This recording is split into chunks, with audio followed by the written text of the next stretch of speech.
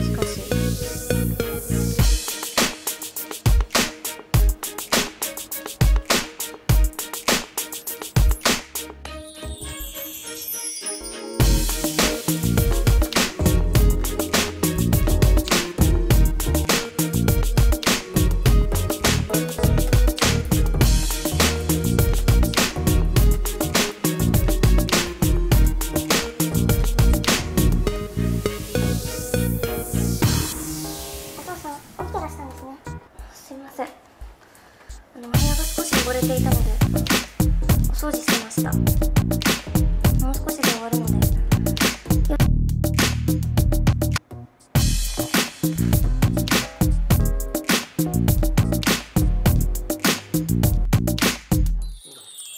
そこもほら汚れとるやろまったく掃除もできん今の若い者はな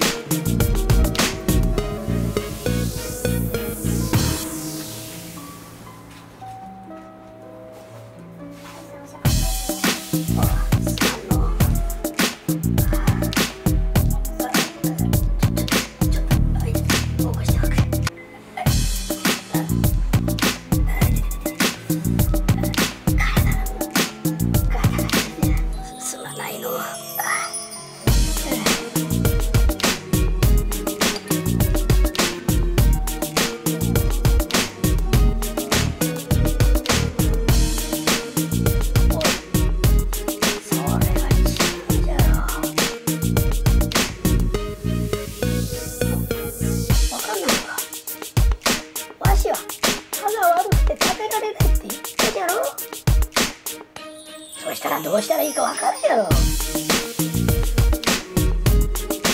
んない。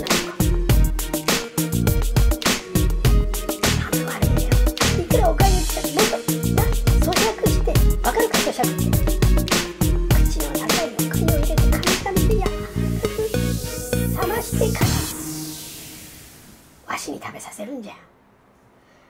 介護にってそのぐらいのことわからんのか。勉強不足じゃ。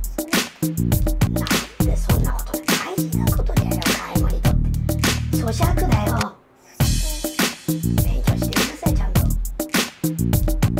嚼して食べさせるのが食事。老人に対する。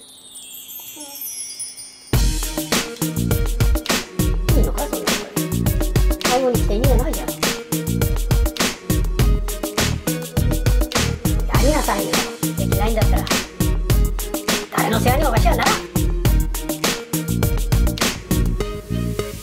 れてきたんやろ？少しは勉強して来なきゃいかんだろ絶対ダメだよお前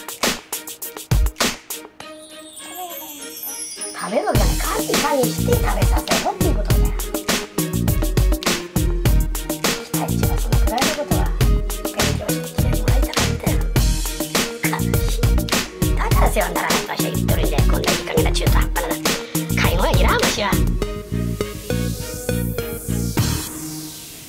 ってもらってもいいよわし。